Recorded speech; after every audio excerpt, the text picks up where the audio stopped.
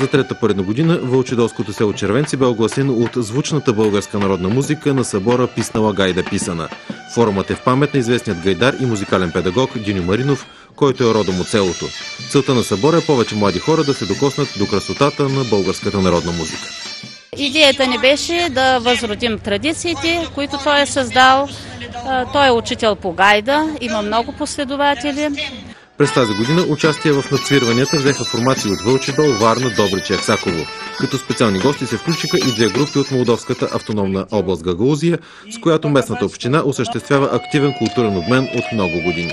Наша фолклорна група е участвала в Гагаузия, те първа имаме покани и поставяме така началото на една много добра съвместна дейност в областта на културата и в много други области с едни хора, които са от нашата кръв.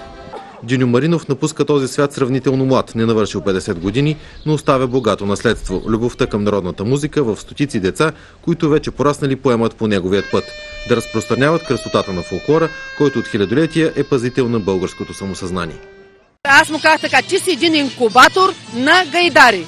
Гайдите трябва да съществуват в България. Ние сме българи, гайдата е хубав български инструмент. Вече няма граница, няма език, който да спре някой. Можеш да се отделиш единствено и само чрез фолклора от някой друга народност. Фолклора е всичко, което трябва да притежаваш, за да се отличиш от другия.